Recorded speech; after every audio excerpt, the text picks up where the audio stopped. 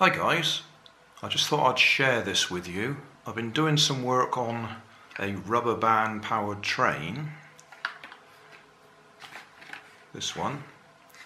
Um, there'll be links in the video description so you can see how I got on. It worked, but not particularly well. One of the problems was the length of the train made it difficult for it to go round the bend on my track. So instead of having the wheels at the front there, I moved them to the middle so that it could turn round a tighter track. And I got about, well, one circuit almost of the track that I'd got from the rubber band. Um, you're limited in the length of rubber band you can have by the length of the bodywork. So, I was looking at other options got a bit sidetracked here.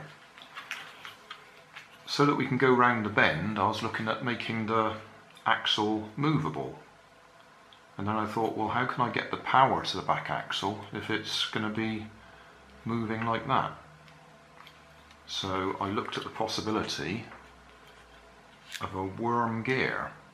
I don't know if the camera's picking that up because with a worm gear vertical there it doesn't really matter at all where the axle is in relation to it, it will still be turning the back axle. With that gearing, the worm gear and that gear on the back axle, I've created another problem. That's gearing down the number of turns we get from the rubber band. In fact, if I turn this handle, which winds up the rubber band, if we start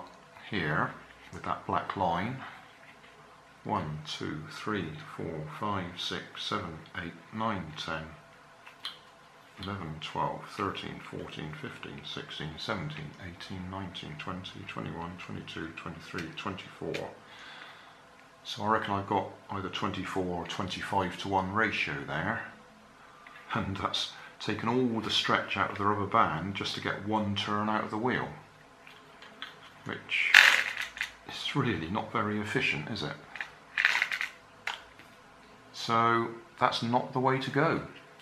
It was an interesting diversion, but it doesn't work at all. So I just thought I'd share it. It's a, a failed idea. I tried it, didn't work.